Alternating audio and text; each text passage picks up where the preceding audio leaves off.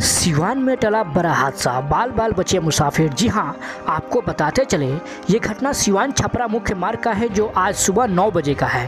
बीते रात तेज आंधी के प्रभाव में बिजली के तार टूटकर पेड़ से टकरा गया, जिससे रोड पर स्थानीय लोग व सैकड़ों मुसाफिरों को दिक्कत का सामना करना पड़ा।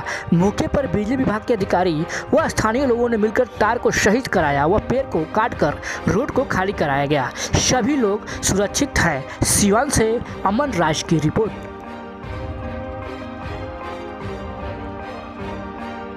यहाँ घटना घटा है। नौ बजे सर अच्छा क्या हुआ था? लाइन में आग लगे लगल तो बिजली का पिसाई ना आदमी का काट के गिरावल हवे कोई नुकसान? हाँ, कोई नुकसान ना भइल हवे। आग लगने की? हाँ कुछ ना भइल मने तार ज़रूरत रहल तो काट के गिरा देन हेलो।